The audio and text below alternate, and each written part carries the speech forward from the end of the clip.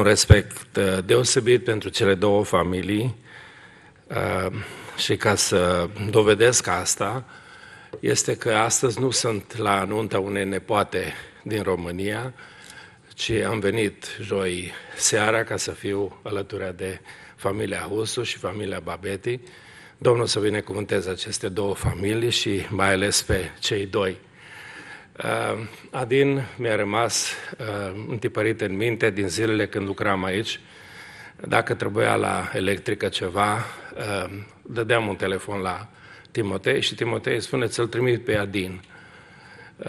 Adin, mulțumim din toată inima. Știu că așa cum ai lucrat la construirea acestei biserici, o să lucrez la construcția casei tale, a familiei tale de acum încolo.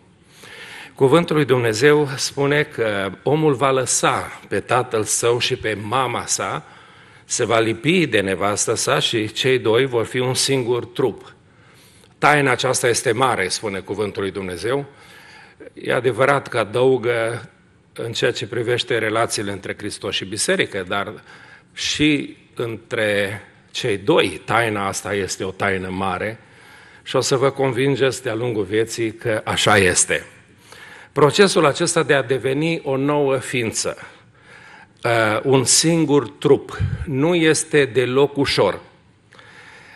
Această nouă entitate care se va naște cu acordul vostru și cooperarea voastră este un proces care va dura probabil mulți ani în viața voastră și ca orice naștere va fi cu durere, va fi cu suferință. Primii ani ai căsătoriei sunt și cei mai frumoși, dar și cei mai grei. Întotdeauna mă uit la cei care încep și am un fel de simpatie pentru ei în mod special, pentru că știu prin ce o să treceți. Dacă n-ar exista dragoste, n-am supraviețuit la anii aceștia. Și cine intră în procesul acesta de a forma o nouă ființă, Eh, cu gândul că celălalt o să-l facă pe el fericit, o să găsească procesul ăsta absolut intolerabil. O să-l găsească intolerabil. E bine, aș vrea câteva lucruri să vă spun despre această lipire pe care trebuie să o facă Dumnezeu eh, din voi doi, două ființe complet diferite unul de celălalt, Dumnezeu vrea să facă una nouă, una uh, diferită. Eh, există în lumea noastră contemporană eh, ideea că în procesul acesta pot exista patru interacțiuni complet diferite. Eh, mulți văd în procesul căsătoriei competiția dintre soț și soție. Și lucrul acesta se vede prin conflictele care se țin lanț, fiecare încearcă să câștige supremația, cine de cine ascultă, cine poartă pantalonii, cine poartă căciula și cele mai multe bancuri, mai ales între români, ă, de cine ascultă bărbatul, nu, sunt izvorâte din această competiție dintre bărbat și femeie. Apoi există războiul sexelor. Probabil că este o exacerbare a acestei competiții în care războiul se poartă acum și cu mijloace uh, fizice, nu? în care uh, neapărat trebuie să asculte unul de celălalt. Se spune că soțul și soția au participat la o conferință despre familie, cum să se acomodeze unul cu celălalt.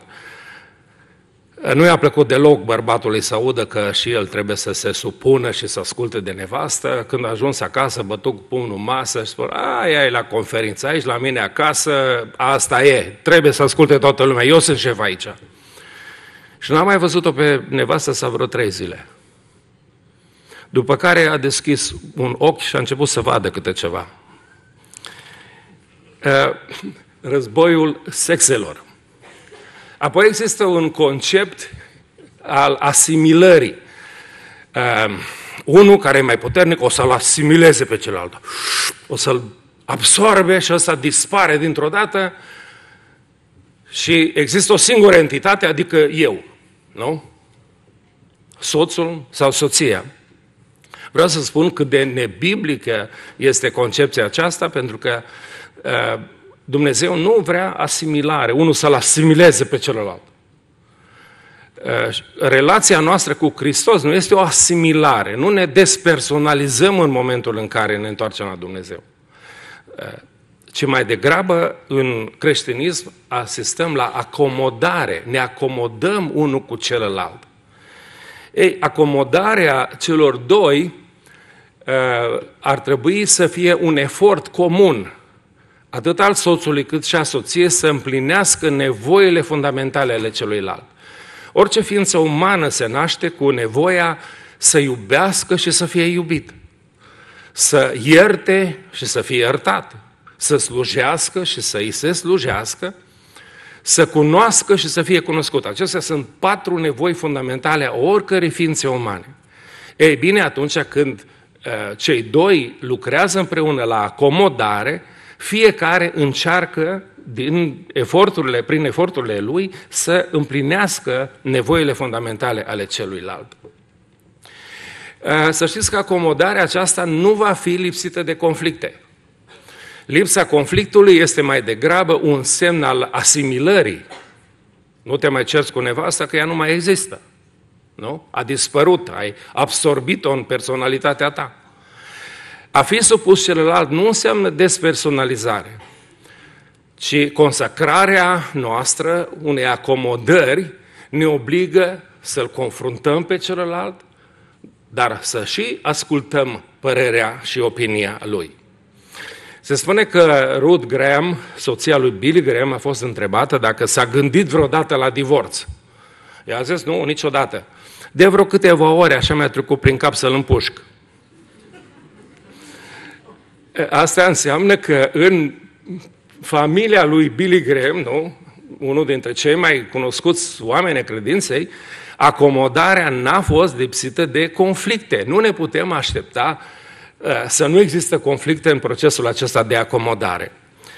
Uh, în încheiere aș vrea să vă port prin câteva perioade foarte periculoase pentru procesul de acomodare care începe probabil de astăzi în viața voastră. În primul rând, sănătatea precară a unuia dintre cei doi. În momentul în care se îmbolnăvește unul în familie, omul care suferă să simte îndreptățit să ceară drepturi, să simte îndreptățit să fie rău. Și răniții rănesc cu ușurință pe alții, știți asta? Aveți grijă în momentele acestea când unul dintre voi sufere, acomodarea voastră va fi testată major. În al doilea rând, când veți avea un mare succes în viață, veți începe să credeți că puteți face orice. Uh, vin din România și am participat la o conferință de familie la Londra, apoi una la Oradea și am auzit o serie de cazuri absolut disperate, familii care se destramă pentru că au dat de succes. Au dat de bani. El era mare om de afaceri, ea frumoasă, nu? Și apoi a început scandalul. Succesul, spunea cineva, te deformează, pe când insuccesul te formează.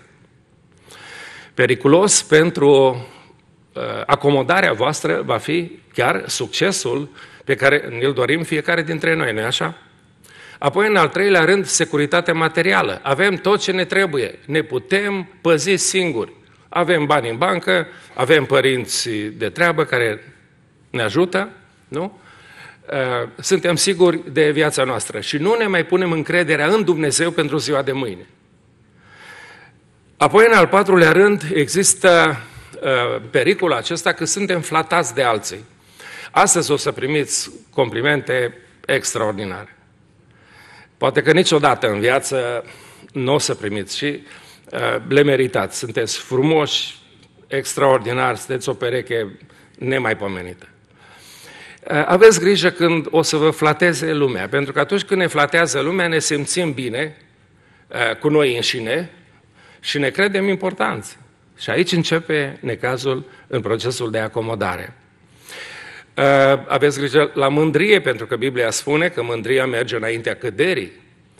Uh, gândiți-vă apoi ce periculoasă este extenuarea după o mare victorie. Nu? Am biruit, am câștigat, am învins, am cumpărat casa aceea, ne-am mutat, am câștigat geabul acela.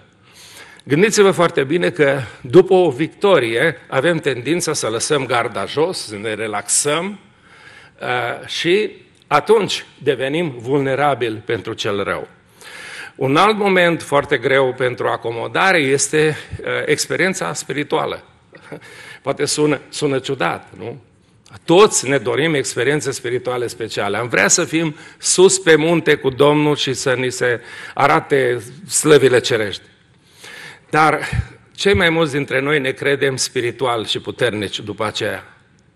Ne credem mai deosebiți decât ceilalți. Și ne îngânfăm cu propriile noastre experiențe spirituale. Și este un moment foarte greu pentru o familie când unul dintre cei doi care vor să se acomodeze descoperă că el e mai spiritual decât celălalt. Cunosc din istoria familiei mele apropiate pe cineva care a descoperit că ea este spirituală și el nu e. Și nu-l mai vrea. Nu-l mai vrea de bărbat pentru că păcătuiește cu el de acum încolo. Ea este duhovnicească. Și să ruinează familia aceea după o anumită experiență spirituală. Aveți grijă, Dumnezeu nu ni le dă să ne împăunăm cu ele. Ni le dă mai degrabă să ne umilim și să-L cunoaștem mai mult pe Dumnezeu. Apoi, în al optulea rând, circumstanțele relaxante. Avem tendința să relaxăm uh, toate celelalte lucruri, nu-i așa? Să ne lăsăm în voia curentului.